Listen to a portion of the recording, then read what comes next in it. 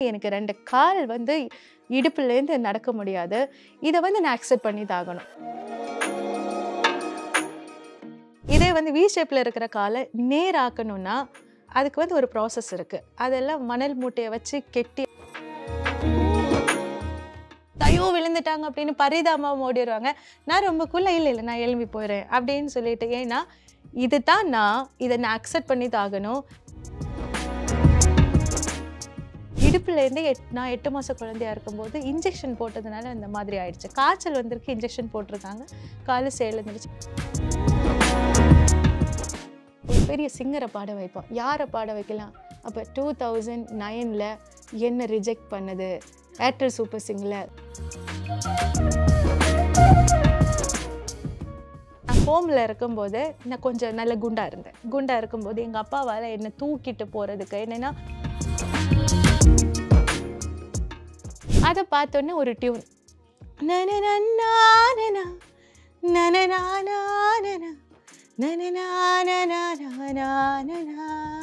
அப்படியே வந்துட்டு நல்லா இருக்கே. ஒரு செந்தூர போ எம்பிஏ முடிச்ச உடனே மெரிட்லேயே இந்திய அளவில் வந்து மெரிட்லேயே வந்துட்டு யூனியன் பேங்க் ஆஃப் இந்தியாவில் டைரக்டர் மேனேஜர் போஸ்ட்டு கிடச்சிது. கூட மேலே கூட வச்ச சிங்கர் பிரசனா அவங்க தான் இந்த பாட்டை வந்து பாடினாங்க. யாரை இன்ஸ்பயர் பண்ணீங்க அப்படின்னு கேட்கும்போது வந்து யார் உங்களோட இன்ஸ்பிரேஷன் எனக்கு இன்ஸ்பிரேஷன் நான் தான். இப்போ கூட உங்கள் ஸ்டுடியோவில் வரும்போது ஏஆர் ரஹ்மன் சாரோட அந்த இப்போ ஃபோட்டோவை வரைஞ்சி வச்சுருக்கீங்க. இளையராஜா ஃபோட்டோ வரைஞ்சி வச்சுருக்கீங்க. அப்போ நான் நினச்சேன் ஒரு ரெண்டு வருஷத்துக்கு பிறகு இதுக்கு பக்கத்தில் ஜெனிட்டாவோட ஃபோட்டோவே வரைஞ்சி வைக்கணும்.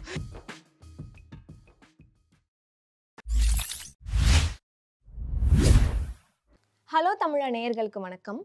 உடலில் உள்ள குறைகள் எல்லாம் ஊனமில்லை அப்படின்னு தமிழ்ல ஒரு அழகான சொற்றொடர் இருக்கு. அதற்கு உதாரணமாக வாழ்ந்துட்டு வரும் ஒரு பன்முக கலைஞர் கூட தான் நாம் இன்னைக்கு பேச போறோம். ஒரு தயாரிப்பாளரா ஒரு பாடலாசிரியரா ஒரு மியூசிக் கம்போசரா இதற்கும் மேலும் ஒரு சீனியர் பேங்க் மேனேஜரா இருக்கிற மேரி ஜெனிட்டா அவர்களோட தான் நாம் இன்னைக்கு பேச போறோம். வணக்கம் மேம் வணக்கம். எப்படி இருக்கீங்க? நல்லா இருக்கேன். நல்லா இருக்கீங்களா? நான் நல்லா இருக்கேன் மேம் ஸோ உங்களை பொறுத்த வரைக்கும் மேரி ஜெனிட்டா அப்படிங்கிறவங்க யார்? என்னோட மேரி ஜெனிட்டா அப்படின்னா வந்து இணையம் என்கிற கிராமத்தில் ஒரு சாதாரண ஒரு குடும்பத்தில் எங்கள் அப்பா சாதாரண மீன் பிடிக்கிற முக்குவர். அவர் ஒரு மீன் பிடிக்கிற தொழிலாளி. அது கூலிக்கு போகிறவர். எங்கள் அப்பாவுக்கு வந்து ஒரு ஏழு தங்கச்சி அங்கே அப்போது அப்போ வீட்டு வறுமையின் காரணமாக வந்து என்ன என்ன பண்ணாங்கன்னா ஹோமில் கொண்டு விட்டாங்க. ஹோமில் ஒரு ஆர்ஃபனேஜ் ஹோமில் கொண்டு விட்டாங்க. என்னென்னா படிக்க வைக்க முடியாது. அங்கே போய் வந்து ஏழு வயசில் அங்கே கொண்டு விட்டு ஆனால் அப்பா அம்மா வந்து எல்லா மாதம் என்னை பார்க்க வருவாங்க. எங்கள் வீட்டிலேருந்து ஒரு முப்பத்தஞ்சு கிலோமீட்டர் கன்னியாகுமரி மாவட்டத்தில். அங்கே வந்து எட்டாம் கிளாஸ் வரைக்கும் நான் அங்கே தான் படித்தேன் வந்து. ஒரு வங்கி மேலாளர்னு சொல்லிங்க இல்லையா? Senior manager in Union Bank of India அது எப்படின்னு எங்கள் அப்பா வந்து எங்கள் ஊரில் ஸ்டேட் பேங்க் ஆஃப் திருவாங்கூரோட ஒரு பிரான்ச் இருந்துச்சு. எங்கள் அப்பா பார்க்கும்போது நம்ம இந்த கடற்கரை கிராமத்தில் பார்த்தீங்கன்னா இந்த மக்கள் எல்லாம் என்ன பண்ணுவாங்கன்னா ஒரு பேப்பர் வாசிக்கிறது அல்லது ஒரு ஏசியில் இருக்கணும் அப்படின்னு தோணுச்சுன்னா வந்துட்டு பேங்குக்குள்ளே வந்து இருந்துருவாங்க.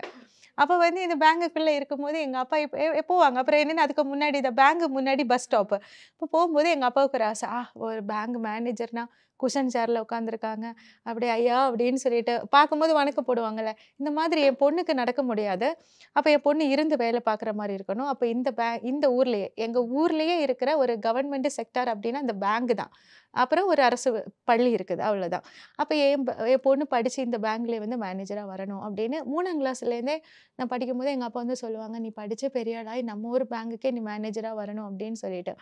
அப்போ வந்து நானும் ஓகே என்ன நமக்கு என்னன்னு அன்னைக்கு தெரியலன்னா கூட அப்பா சொல்லியிருக்காங்க. ஏன்னா பேங்க்னா லோன் கேட்குறதுக்கு நிறைய பேர் ஒரு கையெழுத்துக்காக ஒரு ரெக்கமெண்டுக்காக நம்ம முன்னாடி வந்து காத்திருப்பாங்க. இதெல்லாம் நினச்சி பார்க்கும்போது அது ஒரு கெத்தான விஷயம் தானே. அப்போது அப்பா அப்பா சொன்ன மாதிரி வந்துடணும் அப்படின்னு. சின்ன வயசுலேருந்தே அந்த ஹோம்லேயே நானும் நாங்கள் ஒரு பதிமூணு பேர் தான் இந்த மென் ஃபிசிக்கலி சேலஞ்சு பாக்கி வந்து ஒரு முப்பது பேர் மென்டலி சேலஞ்சு நான் வந்து மென்டலி சேலஞ்சு கூட தான் நான் வளர்ந்தேன் வந்து. ரெண்டு பேர் நாங்கள் எல்லாம் ஒரே ஹாலில் தான் தூங்குவோம். அப்புறம் சாப்பிடும்போது எல்லாரும் சேர்ந்து தான் சாப்பிடுவோம் வந்து. அவங்களோட தலையில் நாங்கள் சீவி கொடுப்போம். அந்த மாதிரி எங்களை வந்து சிஸ்டர்ஸ் பார்த்துப்பாங்க. அந்த மாதிரி நான் வந்து அவங்க கூட தான் வந்து வளர்ந்தது மென்டலி சேலஞ்சு கூட. எங்களை சிஸ்டர்ஸ் வந்து படிக்கிற பிள்ளைங்களை மட்டும் நான் கீழே ஊந்து தான் போவேன். இப்போ இப்படியெல்லாம் நடக்கிறது இந்த கேலிப்பர் க்ரச்சஸ் வச்சு நடக்கிறதெல்லாம் கிடையாது. என் கால் வந்து இடுப்புலேருந்து எட் நான் எட்டு மாத குழந்தையா இருக்கும்போது இன்ஜெக்ஷன் போட்டதுனால இந்த மாதிரி ஆயிடுச்சு. காய்ச்சல் வந்திருக்கு இன்ஜெக்ஷன் போட்டிருக்காங்க. கால் செயலிழந்துருச்சு எவ்வளவோ வந்து இடத்துல போய் வந்து மருந்தெல்லாம் பார்த்த பிறகும் கால் வந்து சரியாக முடியலை. இதுதான் என்னோட வாழ்க்கை. எட்டாம் கிளாஸ் வரைக்கும் சிஸ்டர்ஸ் படிக்க வச்சாங்க. நைன்த்து டு டுவெல்த்து வரைக்கும் அங்கே கன்னியாகுமரி மாவட்டத்தில் லோக்கல் டிப்போவில் உள்ள டிரைவர்ஸ் கண்டக்டர்ஸ் நம்ம அரசு பேருந்து கழகம் இருக்குது அதில் உள்ள டிரைவர்ஸ் கண்டக்டர்ஸ் எல்லாரும் சேர்ந்து நைன்த்து டு டுவெல்த்து வரைக்கும் ஹாஸ்டலில் என்னை வந்து அவங்க தான் ஃபீஸ் பே பண்ணி அவங்க என்னை தத்தெடுத்து அவங்க படிக்க வச்சாங்க. அப்புறம் பிகாம் வந்து சென்னை சாரி அங்கே நாகர்கோயிலையே ஹோலி கிராஸ் காலேஜில் படித்தேன் சிஸ்டர்ஸ் வந்துட்டு காலேஜ் மேனேஜ்மெண்ட் என்ன படிக்க வச்சாங்க. அப்புறம் ஏன் வந்து நிறைய பேர் படிப்பாங்கல்ல ஏன் என்ன படிக்க வச்சாங்க படிக்க வச்சாங்க அப்படின்னு சொன்னேன்னா எனக்கு வந்து சின்ன வயசுலேருந்தே ஒரு வெறியா அல்லது என் என் வீட்டில் என்ன வந்து நான் பொம் பொம்பளை பிள்ளைனாலும் இங்கே சென்னையில் சத்யபாமா யூனிவர்சிட்டியில் படிக்கும்போது எங்கள் அப்பா அம்மா நான் அன்னைக்கே வந்து தனியாக வந்து ட்ரெயின் ஏறி இங்கே வருவேன். ஏன்னா எங்கள் அப்பா அம்மாவுக்கு வந்து என்னகிட்ட இருக்கிற அந்த தன்னம்பிக்கை எனக்கு இருக்கிற நம்பிக்கை இதெல்லாம் பார்க்கும்போது என்ன ஒரு ஆம்பளை மாதிரி ட்ரீட் பண்ணுவாங்க. என் பொண்ணு போயிட்டு வந்துடுவா அப்படின்னு சொல்லிட்டு. எதுனாலும் எங்கிட்ட கேட்பாங்க. இப்போ கூட வந்து ஏதாவது அப்பாவுக்கு இதனால என் பொண்ணுக்கு தெரியும். என் பொண்ணு வந்து சொல்லுவாள் கரெக்டாக அவள் சொல்லுவாள் அப்படின்னு சொல்லிட்டு ஒரு அந்த ஒரு தைரியத்தினால வந்து அவங்க வந்து என்னை நம்புவாங்க. என் பொண்ணால் முடியும் அப்படின்னு சொல்லிட்டு எங்கள் அப்பாவுக்கு எங்கள் அப்பாவுக்கு அம்மாவுக்கு அது தெரியும். அப்புறம் வந்து காலேஜில் ஏன் ஒவ்வொரு கட்டத்துலையும் நம்ம யார் வந்து பரிதாபப்பட்டு யாரும் எனக்கு ஹெல்ப் பண்ணலை. நான் என்ன நினைப்பேன்? நான் கிளாஸ் ரூமில் இருந்தாலும் சரி எங்கே இருந்தாலும் சரி மேரி ஜெனிட்டா ஒரு இடத்துல இருந்தால் இந்த மேரி ஜெனிட்டா யாருன்னு எல்லாருக்கும் தெரிஞ்சிருக்கணும். ஏன்? ஒரு தனித்துவம் எனக்கு இருக்கணும். அந்த மாதிரி வந்து நான் அப்போ எப்படின்னா கிளாஸ் ரூமில் கூட ஃபஸ்ட்டு ரோலில் இது வந்து ஃபஸ்ட்டில் தான் இருப்பேன் வந்து எல்லார் கூடயும் எந்த பாடல்னாலும் சரி பா பேச்சு போட்டினாலும் சரி கவிதை எழுதுறதுனாலும் சரி எல்லாத்துக்கும் பேர் கொடுப்பேன்.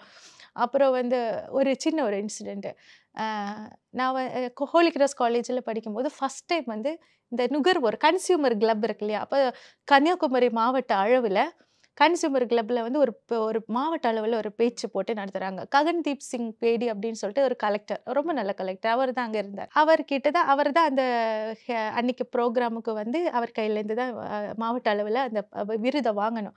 அப்போ நான் காலேஜ் ஹோலி கிராஸ் காலேஜ் சார்பாக நான் போயிருக்கேன். நான் என்ன நான் ஃபஸ்ட் இயர் இப்போ போகும்போது என்னோட சீனியர்ஸ் எல்லாம் என்கிட்ட சொல்லிட்டு போனாங்க. ஓ அங்கே வந்து மதன் ஒருத்தன் வருவான். அவன் வந்து வேறு காலேஜ் ஸ்காட் கிறிஸ்டியன் காலேஜ் ஏதோ ஒரு காலேஜ் அவன் வந்து அவன் வந்தாலே அவன் தான் ஃபஸ்ட் ப்ரைஸ் வாங்குவான் அப்படின்னு சொல்லிட்டு சீனியர்ஸ் எல்லாம் வந்து பயமுறுத்தி பயமுறுத்தி வந்துட்டு அவனை வந்து அவன் சீனியரு அவனை அவன் அவன் கண்டிப்பாக இந்த வாட்டி அவன் தான் நீ எவ்வளோ நல்லா பேசினாலும் நீ செகண்ட் தான் வருவ ஜெனிட்டா. அவன் ஃபஸ்ட்டு அந்த பையன் ஃபஸ்ட்டு வந்துடும் அப்படின்னு சொல்லிட்டு. ஓகே நானும் வந்து எனக்கு ஒரு க்யூரியாசிட்டி இந்த மதன் யார்? அவரை பார்க்கணும் அப்படின்னு சொல்லிட்டு. அவர் வந்து நிறைய எல்லா காலேஜும் வரும்போது மதன் வந்தாலும் அங்கே இருக்கிற ஜட்ஜஸே வந்துட்டு ரொம்ப ரெஸ்பெக்டாக பார்க்குறாங்க ஏன்னா அவர் அவ்வளோ ஒரு நல்லா பேசுகிறாரு அவர் பேசி முடிச்சோடனே அவர் கிளம்பி போயிட்டார். அந்த ஸ்டூடெண்ட் அவர் வந்து எங்கள் சீனியர்ஸ் தான் அங்கே எல்லாம் பார்க்கும்போது. அவர் வந்து வேறு காலேஜ் ஸ்டூடெண்ட் அவர் பேசிட்டாரு முடிச்சிட்டாரு. ஏன்னா அந்த கெத்து நான் தான் ஃபஸ்ட் வருவேன் அப்படின்னு சொல்லிட்டு கிளம்பி போயிட்டாரு. இப்போ அடுத்தது அவர் பேசி முடிச்சு ஒரு ரெண்டு ஸ்டூடெண்ட்ஸ் எல்லாம் முடிச்ச பிறகு நான் என் காலேஜிலேருந்து என்னோட டைம் வரும்போது நான் பேசுகிறேன் பேசிட்டு வந்து லாஸ்ட்டில் ஃபஸ்ட் ப்ரைஸ் எனக்கு தான் அவர் செகண்ட் ப்ரைஸு இப்போ வெளியே வந்து எங்கள் அப்பா தான் என்னை கூட்டிகிட்டு போயிருக்காங்க. எங்கள் அப்பா கிட்ட வந்துட்டு எங்கள் அம்மாவுக்கு ஃபோன் பண்ணி பூத்தில் போயிட்டு எங்கள் வீட்டுக்கு ஃபோன் பண்ணி சொல்லணும். நான் ஃபஸ்ட்டு வெளியே இன்டர் காலேஜுக்கு வந்திருக்கேன். நான் தான் வந்து ஃபஸ்ட் ப்ரைஸ் வாங்கியிருக்கேன் அப்படின்னு சொல்லிட்டு. நான் போகும்போதே எங்கள் அப்பாவுக்கிட்டே இந்த மதன் ஒருத்தர் வராராம்ப்பா. அவர் தான் ஃபஸ்ட்டு இருப்பாரா? இப்படி இப்போ எங்கள் அப்பாவுக்கே அது க்யூரியாசிட்டி இந்த மதன் யார்? இப்போ நான் ஃபஸ்ட்டு வந்தோடனே ரொம்ப அப்பாவுக்கு சந்தோஷம். இப்போ பூத்தில் இருக்கே எதேச்சும் இந்த மதன் வராரு. மதன் வந்தோடனே என்னை பார்த்ததுனால கேட்டார் வந்து ப்ரைஸ் அனௌன்ஸ் பண்ணிட்டாங்களே அப்படின்னு. ஆமாம் வந்து யார் செகண்ட் அப்படின்னு சொல்லிட்டு. அதனால நான் சொன்னேன் நீங்கள் தான் செகண்டு இப்போ ஃபஸ்ட்டு யார் அப்படின்னு? நான் தான் ஃபஸ்ட்டு அப்படின்னு. அவள் வந்து என்னென்னா ஒருத்தங்க என்கிட்ட யாராவது இவங்க அது போட்டின்னு கிடையாது. என்னால் முடியாதுன்னு ஏதாவது ஒன்று யாராவது சொன்னாங்கன்னா அந்த இடத்துல முடிச்சு காட்டணும் அப்படின்னு சொல்லிட்டு சின்ன வயசுலேருந்தே வந்து ஒரு ஆர்வம் எனக்கு. அப்போ இதெல்லாம் பார்க்கும்போது அப்புறம் நான் கலைஞர் ஐயா நம்ம மறைந்த திரு மு க க கருணாநிதி ஐயா கிட்டேருந்து வந்து தமிழ்நாடு அளவில் சிறந்த பேச்சாளர் விருது வாங்கியிருக்கேன் வந்து. முரசொலி அறக்கட்டளை சார்பாக எல்லா வருஷம் ஒரு பேச்சு போட்டி நடத்துவாங்க. அதில் வந்து இப்படியெல்லாம் வந்து அப்போ காலேஜில் வந்து நான் மேரி ஜெனிட்டான்னு எல்லாருக்குமே தெரியும். அங்கே வந்து அப்புறம் வந்து அவங்களே ஃபீஸ் எல்லாம் பே பண்ணி படிக்க வச்சாங்க. அப்புறம் சென்னை சத்யபாமா யூனிவர்சிட்டியில் ஜேபிஆர் ஐயா வந்து அவங்க வந்து எனக்கு ரெண்டு வருஷமும் ஃபீஸ் வந்துட்டு அவங்களும் வந்து கன்செஷன் எல்லாம் கொடுத்து வெறும் டுவெண்ட்டி தௌசண்ட் தான் வந்து நான் ஃபஸ்ட் அட்மிஷனுக்காக ஃபிஃப்டி தௌசண்ட் பே பண்ணதில் ஐயா வந்து தேர்ட்டி தௌசண்ட் திரும்ப தந்துட்டு டுவெண்ட்டி தௌசண்டில் எம்பிஏ படித்து ஃபஸ்ட்டு இயர்ஸ் நாங்கள் படிக்கும்போதும் நம்ம எம்ஜிஆர் சார் இருக்காங்க இல்லையா? அவருக்கு பிறந்த நாள் ஜனவரி பதினேழாம் தேதி. அதை வச்சு வந்துட்டு ஜேபிஆர் ஐயா ஒரு சிறந்த ஒரு பட்டிமன்றத்தில் சிறந்த பேச்சாளர் விருது கொடுக்கணும்னு சொல்லிட்டு எங்களை ஊக்குவிக்கிறதுக்காக சத்யபாமா யூனிவர்சிட்டியில் ஒரு பேச்சு போட்டி நடத்துவாங்க. அதுலேயே ஃபஸ்ட் இயரில் வந்துட்டு எனக்கு தான் வந்து சிறந்த ப பல்கலைக்கழகத்தோட சிறந்த பேச்சாளர். அப்புறம் செகண்ட் இயர்லேயும் வந்து நம்ம இயக்குனர் பாக்கியராஜ் சார் வந்து அவங்க சார் வந்திருந்தாங்க. அவங்க கிட்டேருந்து செகண்ட் இயர்லேயே வந்து நான் தான் வந்து வாங்கினேன். அப்புறம் அதை பா செகண்ட் இயர்லேயே நான் ப்ரைஸ் வாங்கினோன்னே ஸ்டூடெண்ட்ஸ் வந்து எங்கிட்ட என்னோட ஜூனியர்ஸ் அந்த பட்டிமன்ற பேச்சு போட்டிக்குன்னு வரும்போது எங்களுக்குள்ள ஒரு கொஞ்சம் ஜூனியர்ஸ் நாங்கள்லாம் ஒரு குரூப் இருப்போம் இல்லையா? அக்கா அடுத்த வருஷம் இங்கே பிஹெச்டி ஏதாவது பண்ண வருவீங்களா? அப்படின்னு. நான் சொன்னேன் ஏன் இல்லை அந்த மாதிரிலாம் இல்லை. அடுத்த ஒரு வேலைக்கு போகணும் அதான். ஏன் கேட்குறீங்க இல்லை ஃபர்ஸ்ட் இயரில் உங்களுக்கு நீங்கள் ப்ரைஸை தட்டிட்டு போயிட்டீங்க. செகண்ட் இயரில் நீங்கள் ப்ரைஸை தட்டிட்டு போயிட்டீங்க. மூணாவது மூணாவது இங்கே பிஹெச்டி பண்ண வந்தீங்கன்னு வச்சுக்கோங்க. கண்டிப்பாக வந்து இது வருஷா வருஷம் நடக்கும். நீங்கள் தான் வந்து எங் நீங்கள் தான் உங்களுக்கு தான் கண்டிப்பாக ப்ரைஸ் வந்து கிடைக்கும். அதனால் வந்து நீங்கள் இங்கே வராதீங்க அப்படின்னு சொல்லிட்டேன். இதெல்லாம் ஏன் சொல்கிறேன்னா நம்ம வந்து என்ன இருக்குதோ அதை வந்துட்டு அந்த இருக்கிறத வந்து ரொம்ப ஸ்பெஷலாக பார்க்கணும். நான் எப்போ பார்ப்பேன்னா எனக்கு ரெண்டு கால் வந்து இடுப்புலேருந்து நடக்க முடியாது. இதை வந்து நான் அக்செப்ட் பண்ணி தாகணும் சின்ன வயசுலேருந்து நான் நைன்த் ஸ்டாண்டர்ட்லேருந்து மூணு ஆப்ரேஷன் பண்ணி ஆறு மாதம் ஃபிசியோதெரப்பி எடுத்து நான் பட்ட கஷ்டங்கள் ஏராளம். வலிகள் ஏராளம். இந்த வலிகள் எல்லாமே என்ன ஒரு பவர்ஃபுல்லாக தான் ஆக்கியிருக்கிறே தவிர இந்த என்னை அப்படியே வந்து ஐயோ வலிச்சு வலிக்குதே ஆறு மாதம் கஷ்டப்பட்டு வந்த ஒரு ஃபிசியோதெரப்பி ஒரு நடக்க நடக்க முடியாத கால இந்த மாதிரி மூணரை கிலோ வெயிட் இரும்பு போட்டு அதுக்குள்ளே கால் வச்சு அதெல்லாம் நடக்க வைக்கிறதுல ஒரு பெரிய ப்ராசஸ் வந்து. வி ஷேப்பில் இருக்கிற காலை என்ன பண்ணுவாங்கன்னா மணல் மூட்டை ஆத்து மணல் மூட்டை அதை வந்து ஒவ்வொரு நாளும் ஒவ்வொரு கிலோவாக வந்து ஒவ்வொரு வீக்கும் கூட்டுவாங்க. கூட்டிட்டு கால் வந்து இப்படி வி ஷேப்பில் இருக்கு என்னோட கால். ஆப்ரேஷன் பண்ணியிருக்காங்க இதே வந்து வி ஷேப்பில் இருக்கிற காலை நேராக்கணும்னா வந்து அதுக்கு வந்து ஒரு ப்ராசஸ் இருக்குது அதெல்லாம் மணல் மூட்டையை வச்சு கெட்டி அப்படி தான் அப்போ வலிகள் பட்ட வலிகள் வந்து ரொம்பவே அதிகம். நான் சின்ன வயசுலேருந்து இப்போ வரைக்கும் எங்கேயாவது போனால் விழுவோம். எங்கேயாவது தட்டும். தட்டும்போது வந்து இந்த கிரச்சஸ் வந்து நிற்காது புதிய இடத்துல போகும்போது தண்ணி இருக்கும் வந்து. எல்லா இடத்துலையும் ஒரே மாதிரி இருக்காது. அப்படியே வந்து விழுவோம். ஆட்கள் எல்லாம் பார்க்கும்போது ஐயோ விழுந்துட்டாங்க அப்படின்னு பரிதாபமாக ஓடிடுவாங்க. நான் ரொம்ப குள்ள இல்லை இல்லை நான் எழும்பி போயிடுறேன் அப்படின்னு சொல்லிட்டு ஏன்னா இதுதான் நான் இதை நான் அக்செப்ட் பண்ணி தாகணும் இதெல்லாம் நான் பார்த்துட்டு இருந்தேன்னா வந்து என்னால் வாழ முடியாது. இந்த வாழ முடியாது. இந்த வலிகள் என்னை ஒரு வலிமையாக மாற்றிருக்குது இதுதான் என்னோட ஜேர்னி ஓகே ஓகே ஸோ உங்களோட காலேஜ் லைஃப் சொல்லிட்டீங்க எஜுகேஷ்னெல்லாம் நீங்கள் எவ்வளோ அச்சீவ் பண்ணீங்கன்னு சொல்லிட்டீங்க. ஸோ மியூசிக் எந்த இடத்துல வந்து மியூசிக் மேலே ரொம்ப இன்ட்ரெஸ்ட் ஆச்சு உங்களுக்கு? மியூசிக் இன்ட்ரெஸ்ட் ஆகும்போது எப்படின்னா ஆறாம் கிளாஸில் வந்து ஏன்னா நான் ஹோமில் இருக்கும்போது நான் கொஞ்சம் நல்ல குண்டாக இருந்தேன். குண்டாக இருக்கும்போது எங்கள் அப்பாவால் என்னை தூக்கிட்டு போகிறதுக்கு என்னென்னா கொஞ்சம் ஸ்கின் அலர்ஜியில் மெடிசின் நிறைய எடுத்தப்போ வந்து அது வந்து ஒரு என்எஸ் மாதிரி ஒரு ஸ்கின் அலர்ஜி. அதில் மெடிசின் எடுத்தப்போ ரொம்ப வந்து உடம்பு வந்து நல்லா வண்ணம் ஆயிடுச்சு அப்போது அப்பாவுக்கு வந்து தூக்கிட்டு என்னென்னா கிராமத்தில் பஸ் இறங்கி எங்கள் வீட்டுக்கு போனால் ரொம்ப நேரம் தூக்கிட்டு நடந்துட்டு போகணும் இதனால நான் என்ன சொல்வேன்னா எனக்கு சின்ன வயசுலேருந்து ஒரு இது நான் யாரையுமே என்னால் கஷ்டப்படக்கூடாதுன்னு நான் நினைப்பேன். என்னால் யாரும் கஷ்டப்படக்கூடாது அப்படின்னு. அப்போ வந்து நான் நினைப்பேன் நான் அப்பா தூக்கிட்டு போகணும். அதுக்கப்புறம் வந்து நம்ம அந்த ஸ்ட்ரீட் பைப்புலேருந்து தண்ணி எடுத்து வச்சு நடு வீடுன்னு சொல்லுவாங்க எங்கள் இது. என்னென்னா இந்திரா காந்தி பீரியடில் எங்கள் அப்பா அம்மாவுக்கு வந்து கிடைச்ச எங்கள் அப்பா ஒரு சின்ன வீடு வந்து. அந்த அரசாங்கத்துலேருந்து கிடைச்ச வீடு. அதில் வந்து எப்படின்னா உள்ள பாத்ரூம் இல்லை ஒன்றும் இல்லை. அப்போ ஸ்ட்ரீட் பைப்பில் தண்ணி எடுத்து வந்து நடு வீட்டில் நான் குளிக்கும் போது எங்கள் அப்பா வெளியே இருக்கணும் என் அண்ணா வெளியே இருக்கணும் இவங்களையெல்லாம் எதுக்கு நான் கஷ்டப்படுத்தணும்னு சொல்லிட்டு நான் வீட்டுக்கு போக மாட்டேன். அதாவது நினைவு தெரிந்த நாள்லேருந்து நிறைய வீட்டுக்கு போகிறத அவாய்ட் பண்ணுவேன். அப்படியே வீட்டுக்கு போனால் கூட ஒரு மாதம் லீவு எல்லாம் வரும்போது நம்ம மே மாதம் லீவ் இருக்கு இல்லையா? நான் ஒரு பத்து நாள் இருந்துட்டு நான் வந்து தனியாக ஹோமில் வந்து தனியாகவே இருப்பேன். எம்பிஏ படிக்கும்போது கூட எல்லாரும் வீட்டுக்கு போகும்போது நான் நிறைய அவாய்ட் பண்ணுவேன். ஹோலி கிராஸில் படிக்கும்போது அவாய்ட் பண்ணுவேன் வந்து. என்னென்ன நான் என்னால் என் வீடு கஷ்டப்படக்கூடாது அப்படின்னு சொல்லிட்டு ரொம்ப அவாய்ட் பண்ணியிருக்கேன்.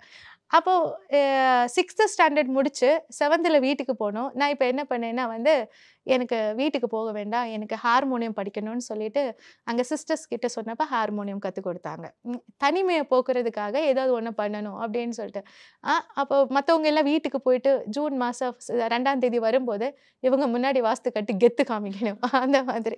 அப்போ வந்து ஒரே மாதத்தில் படித்தாச்சு ஹார்மோனியம் படித்து அதுக்கப்புறம் எட்டாம் கிளாஸ் சர்ச்சில் வந்து ஆறாம் கிளாஸ்லேருந்தே சர்ச்சில் வந்துட்டு ஹார்மோனியம் ப்ளே ப்ளே பண்ணுவேன்.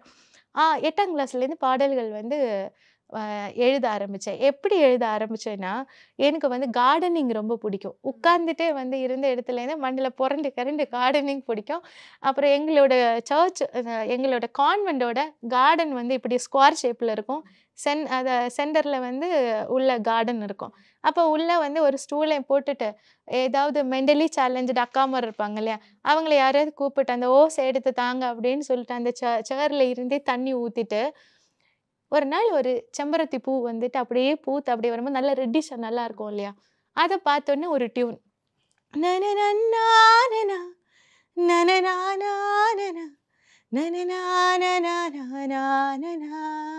அப்படியே வந்துட்டு நல்லா இருக்கே ஒரு செந்தூர போ சிறுதேன் கொண்டு வா இனியே சுவை தாலாட்டவா இது வந்து கான்வென்ட்டில் இருந்தனால நான் வந்து ஸ்பிரிச்சுவல் அப்போ வந்துட்டு அந்த பூவை பார்த்தோன்னே இப்படி ஒரு லைன் இப்படி இதான் முதல்ல நான் எழுதினேன். கம்போசிங் பண்ணேன். அப்போ "ஓ, இது நல்லா இருக்கு அப்படின்னு சொல்லிட்டு நிறைய டூன் வரும்போது நானே லிரிக்ஸ் போட்டு வந்துட்டு எட்டாம் கிளாஸ்லேருந்தே வந்து கம்போஸ் பண்ண ஆரம்பிச்சது. சென்னை சத்யபாமா யூனிவர்சிட்டியில் படிக்கும்போது ஏர்டெல் சூப்பர் சிங்கர் ரொம்ப ஃபேமஸ் இல்லையா? அப்போ வந்து அங்கே வந்து நான் போனேன். அங்கே போனப்போ தேர்ட் ரவுண்டில் சுனிதா சாரதி வந்து எனக்கு த்ரோட் இன்ஃபெக்ஷன் ஆயிடுச்சு தண்ணி ஒத்துக்கிறதுனால வந்து ரிஜெக்ட் பண்ணிட்டாங்க. அப்போ வந்து ஓயோ அப்போ நமக்கு இதே வே- வேண்டவே வேணாம்ப்பா இந்த ஃபீல்டு நமக்கு இல்லை. நம்ம வந்து என்ன அப்பா சொன்ன மாதிரி பேங்க் மேனேஜர் ஆகும்னு சொல்லிட்டு நான் அங்கே போயிட்டேன். எம்பிஏ முடிச்ச உடனே மெரிட்லேயே இந்திய அளவில் வந்து மெரிட்டில் வந்துட்டு யூனியன் பேங்க் ஆஃப் இந்தியாவில் டைரக்ட் மேனேஜர் போஸ்ட்டு கிடச்சிது. அங்கே போயிட்டு இப்போ இதே மறந்துட்டேன். சாங்ஸ் கம்போஸ் பண்ணுவேன். ஆனால் ஸ்பிரிச்சுவலாக கம்போஸ் டிவோஷனலாக கம்போஸ் பண்ணுவேன். இப்படி இருக்கும்போது தான் கோவிட் வந்தது இல்லையா? கோவிட் வரும்போது எல்லாருக்கும் வந்து கோவிடு எல்லாரோட வாசலையும் அடைச்சிருச்சு அப்படி தானே மொத்தத்தில் எல்லாரும். ஆனால் எனக்கு கோவிட் தான் ஒரு வாசலை திறந்து விட்டது. பாசக்காரி அப்படின்னு சொல்லிட்டு ஒரு குறும்படம். அந்த படத்தை வந்துட்டு ஸ்கிரிப்டெல்லாம் எழுதிட்டு அதில் வந்து ஒரு பாட்டு நீ ஒன்றுமே சொல்லலை. நல்லா இருக்கும். நீ ஒன்றுமே சொல்லலை. நம்ம கூட மேலே கூட வச்ச சிங்கர் பிரசனா அவங்க தான் இந்த பாட்டை வந்து பாடினாங்க. அவங்க பொண்ணு டூயட் பாடியிருக்காங்க. இந்த பா இந்த பி இதை முடித்த உடனே நல்ல ஸ்கிரிப்டாக இருக்குது அப்படின்னு சொல்லிட்டு அனில் குமார் சார். அவர் நாற்பத்தஞ்சு படம் வந்து கேரளாவில் one of the famous director அவருக்கு அவர் எங்களோட குடும்ப நண்பர். சும்மா இந்த கதையை சொன்னப்போ வந்துட்டு எனக்கு யங்ஸ்டர்ஸுக்கு வாலிபர்களுக்கு ஒரு மெசேஜ் கொடுக்கணும். அப்போ இது ஒரு படமாக பண்ணால் நல்லாயிருக்கும் அப்படின்னு சொல்லிட்டு வந்து பார்க்கும்போது ஒரு குட்டி கமர்ஷியல் ஃபிலிம் பார்த்த ஒரு எஃபெக்ட் தான் இருக்கும். அவர் வந்து டைரக்ஷன் பண்ணி கொடுத்தாரு. ஸ்க்ரீன் பிளே ஸ்டோரி அப்புறம் மியூசிக் லிரிக்ஸ் எல்லாமே நான் பண்ணேன். அதை வந்து எங்களோட கெப்சரா ப்ரொடக்ஷன் வந்துட்டு என்னோட கணவர் வந்து அதை தயார் ஒரே ஒரு நோக்கம் வாலிபர்களுக்கு ஒரு நல்ல ஒரு செய்தி அதில் சொல்லணும்னு சொல்லிட்டு இது பண்ணது? அல்லாமல் சினி ஃபீல்டில் வரணும்னு எல்லாம் அது கிடையாது. அப்புறம் வந்து அது வந்து எட்டு இன்டர்நேஷ்னல் அவார்டு கிடைச்சது. எட்டாம் கிளாஸில் தினமலர் தினப்ப தினத்தந்தியில் நியூஸ் பேப்பர் வாசிக்கும் போது சில இன்டர்வியூஸ் போடுவாங்க இல்லையா? இசையமைப்பாளர் விருது பாடல் சிறந்த பாடகர் விருது இதெல்லாம் வந்து எங்களுக்கு ஹோமில் இருந்த ஒரு ரெக்ரியேஷன் நியூஸ் பேப்பர் வாசிக்கிறது. நான் நிறைய வாசிப்பேன் நிறைய வாசிப்பேன். அதை வாசிக்கும் போது நான் யோசிச்சிருக்கேன் வந்துட்டு எனக்கு ஒரு ஆசை. நான் வந்து ஒரு சிறந்த இசையமைப்பாளராக இதே மாதிரி இதே மாதிரி வரணும். எங்கள் வீட்டில் அப்பா கிட்ட சொல்ல முடியாது.